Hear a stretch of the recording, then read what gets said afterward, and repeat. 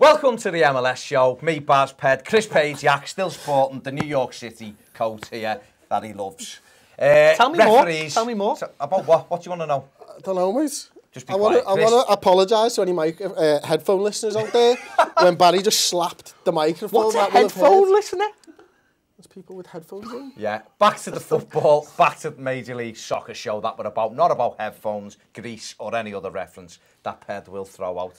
Um, I want to discuss You just actually refereeing. give me a really good idea. We we'll say that for another time. We discussed it last year. It hasn't got any better for me this year, the refereeing. Over the weekend, lots of dodgy incidents, to say the least, in terms of The- red cards, penalty shouts. It had the lot. The M- Discuss. the MLS referees are not good.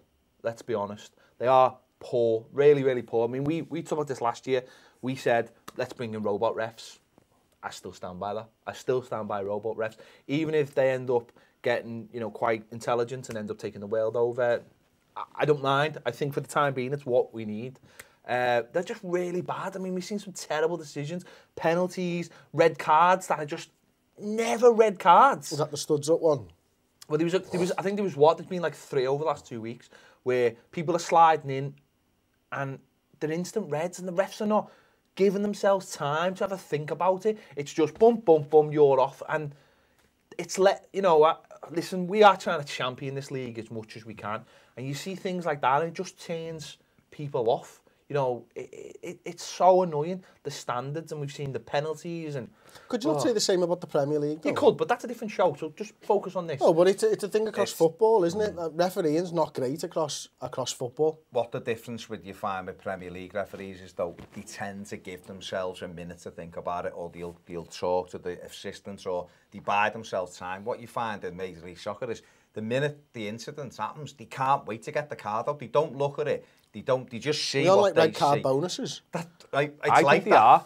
It- They just, it's straight. I mean, we'll talk about the sport Sporting KC one last night against Toronto. Ped, talk us through it. Forget the 3 and 0. We'll talk about that at the 3-0, end. mate. 3 Uh, 0. doesn't I mean, matter. was that a red card for you?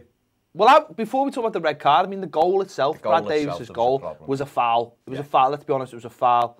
Uh, as the commentator said 87 times, though, don't ever let him cut in on his left foot. No. He must have said it 87, 87 times. times. But it was definitely a foul. And then the red card, it's, you know, it's never a red card. He's gone in for a, he's gone in for a tackle.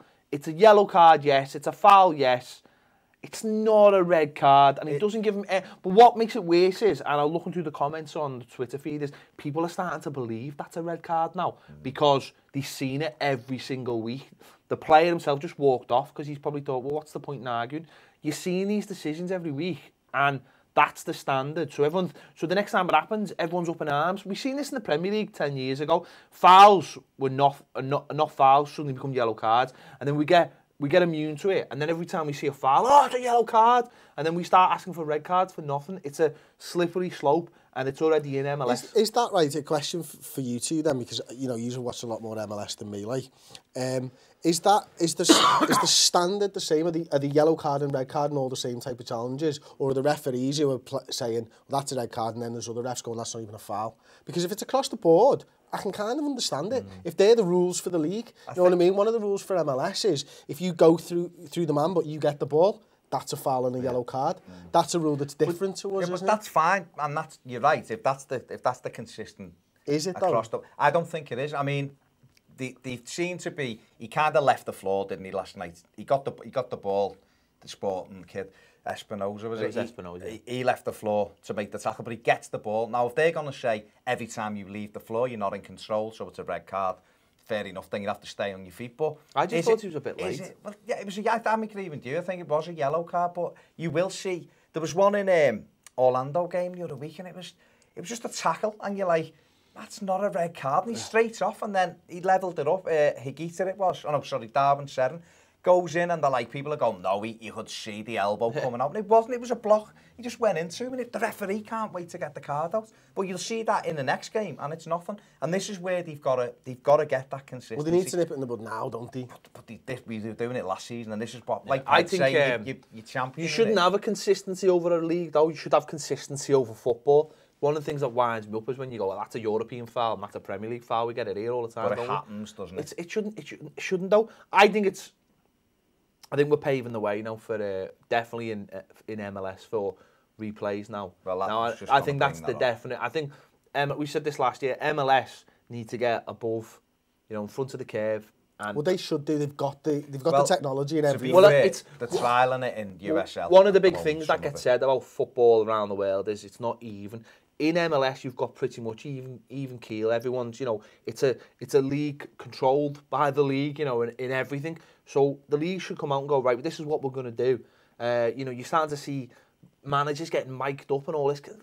Leave that. Who, who's asked about mic ref uh, managers? Ref the mics up for the start. Let's let's Mike the Mike refs the refs. But yeah, we knew what you meant. But yeah, ma- carry on. make the ref, ref the mics. anyone whatever. anyone called Mike? You can ref tonight. You're the referee today. Yeah, um, you know, get them and let's get let's start getting decisions, um, action replays. American audience, we've said this before. American audience are used to it, yeah. so get let's get it done. And they- look, they'll find another way to shoe on an advert in there, so Yeah. MLS gets more money. this action Brilliant. replay is sponsored by Burger King. Let me ask Get about- fat quick. let me ask you about the challenge the system then. If video technology is coming in, are you for or against the challenge system? I, I, I look, I'm a massive NFL fan. I've been for years and years yeah. now. Like, I love the challenge system. I think it's brilliant. I think it works in other sports as well. I think it works really well in tennis and stuff like that. So for me, I like the challenge system. I don't want it in the Premier League, but I'd quite like to see how it goes in Why football. Why would you want in the Premier League? Because, right, I, I want to see, I want to see it work somewhere else okay. first. And then bring it to what I love more than it's anything. a bit snobby, but you know. Yeah, no, I mean MLS are trial, USL are trying, I believe, and MLS are uh, thinking about trialing it in some tournaments that aren't. So people have told me today on Twitter. The problem with So all of that stuff is the problem see. with all that stuff is they always get it wrong first time, and then they have to tinker around with the rules and stuff. Yeah. And that's probably why I don't want to see it in the Premier League. Let them get it right Yeah. somewhere else, But and I, then bring it over. I always here. look at the goal line technology in the Premier League. For years, it was that was in, and there was arguments and everything. Now Arista Bar comes down the line, gets cleared. Because the game carries on. No, you don't ever go on about it. You don't go, that was a goal, oh, we scored, because it's gone. It's been done. Oh, the ref hasn't buzzed. It's been done. And, you know, you see, the, the Philadelphia Union last night against the New England Revolution – Penalty, the first penalty especially, where the lad knocks it through the player's legs and just runs into the back of him, and the referee awards a penalty. Now it was 2 0 at the time, and um, Shuttleworth ended up saving it anyway. But it was a pathetic penalty. It was a ridiculous one. Now, if you've got a challenge system in place, I seen that replay about four, five seconds after it happened. So if you've got the fourth official there, bing on that, that's not a penalty. He's ran into him. The referee's got it in his ear. The only argument, the arguing went on for about a minute with the players. But the thing you is, the, the ball, he's, he's, in that instance, he struck the ball wide of the post anyway.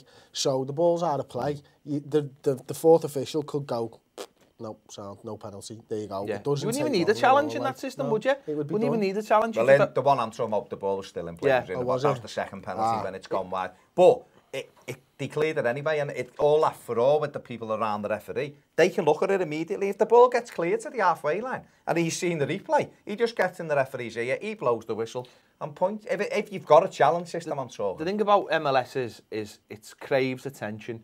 You know, whereas it's all-star game, it's craving attention. Having replays or, you know, a, a man in the stand would, would – be a massive leap forward. No one else has dared do it yet, and if mm. MLS did it, it'd be a massive thing. And, and the other thing is, they could trial it for a season, and if it never worked, or it, you can get rid of it. You know, look at something like a sport like Formula One.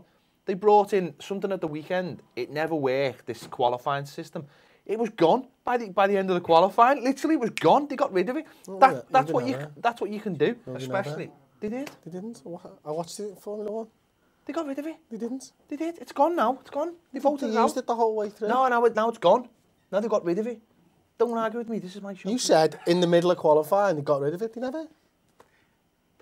as I was saying, anyway, I think for me personally, I think it's it's it's come to the time now where where it's the way forward to start introducing it. If that be a challenge system where you get three each in a game, so be. I don't think it'd add much onto it. Like you say, you can trial it. If it doesn't work or it makes the game too disjointed, get rid of it. But it's a way of getting MLS loads more coverage and making it, you know, the leader, like a market leader in it, and other people hopefully will follow. But I think the more decisions you see like them at the weekend, the red cards and that, you're trying to, you surely you want to be playing 11 v 11. You want to keep 11 men on the pitch because You know what? uh, Football everybody. could learn a lot from um, rugby union's referees, mate.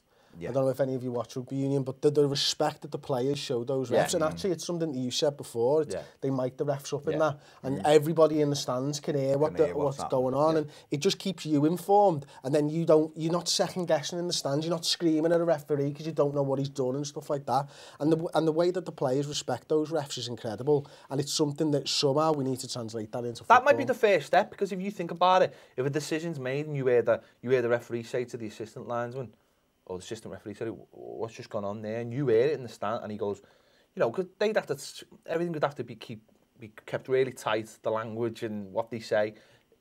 Yeah, it was a pen. He pulled them. No, it wasn't yeah. a pen. And you heard it. You go, okay.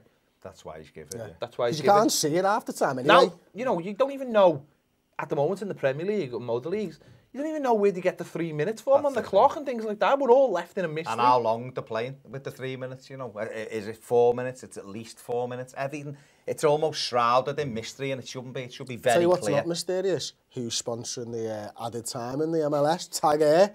I mean, there you go. They've shoehorned another advert in there. No problem. Hey. Brings the money in, it brings the money in. It's You've got it. you need the big bucks to get the likes of Tim Howard in. Exactly. That's another video again. Let me know what you think in the comments section below. Is it time to move to video technology? Do you like the challenge system or just think that's a rubbish idea? Don't forget to let us know below. Check out our other videos. We've discussed Tim Howard over on the Ball Street channel. Have a look at that one. It's great. We've also discussed Chris getting his yeah, Chris losing to Orlando City. Not Chris personally, but New York City. Have a look at that one too. Don't forget to subscribe as we've now gone above the 2,000 mark, which is great. Follow us on Twitter at the MLS Show. Check us out on Facebook. Make sure you like it on Facebook. Anything else you want them to do, boss? I want them to do loads. Snapchat, Instagram. Send me and Ped loads of t-shirts or scarves. We absolutely love it. We'll catch you next time on the MLS Show.